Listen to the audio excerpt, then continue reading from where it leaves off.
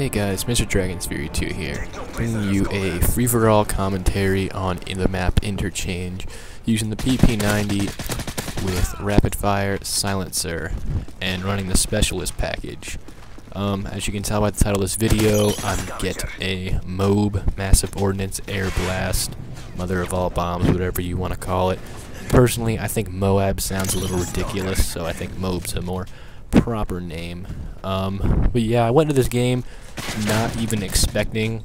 I wasn't in this game trying to get one. It just kind of happened. Just in here trying to level up my weapons and just have some fun. But it turned out to be actually an amazing match. I didn't die once.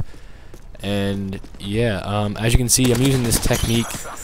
You can call this camping, but I don't consider it camping because you're running around the entire time. Like, I didn't even stop moving once in this commentary. You if you're on this map, you just kind of do what I'm doing. You just kind of chill in this back corner and keep running around in circles.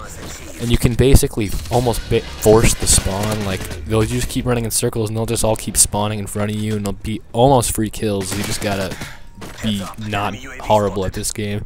And before you ask, no, I'm not the most spastastic player who's ever played this game. For some reason, theater mode is giving my gun like extreme twitch while I'm shooting. Like I'm not moving back and forth like an idiot like that. But anyway, back to the commentary. Um, you're probably wondering why am I using. Sorry about that, guys. Anyway, you're probably wondering why I'm using the specialist package. Um, I'm using it for two reasons. One, it helps you upgrade your perks. Like, you just kind of use them, and they just come naturally to you when you get kills from just getting normal kills and you can level your perks that way. The other reason is because if you get all of the perks that you see on the side, you get what's called the specialist bonus, which gives you all the perks in the game. And frankly, I think that's pretty cool. You get like every perk in the game, and you run super fast, all the benefits from all of them, and the game just seems more fast-paced that way. But anyway, yeah, this was the point when I'm thinking to myself, wow, I could actually get this done right now. Like, it's actually possible for me to do this. I came into this match just like, eh, whatever, no big deal. But then right here, I was like, okay, let's go to work. Like, bear in mind, these people that I'm playing against are not good, and they're actually kind of really bad in my opinion. But still, getting going 30-0 in a free-for-all, not camping, isn't gonna be easy no matter which way you do it. Um, so yeah, kind of coming to the end of the video here. Um, get one more kill, and then there you go.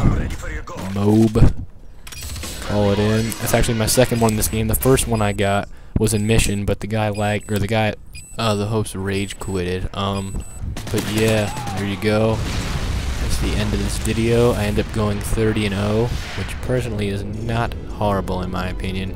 It's my first flawless Moab slash nuke, but obviously Modern Warfare 2 die from him. But anyway, I think it was still really cool. Um, so yeah, be sure to like the video, rate the video if you liked it or not. Doesn't really matter, whatever your opinion was on it. And be sure to comment, rate, and subscribe for more. Thank you. See you guys later.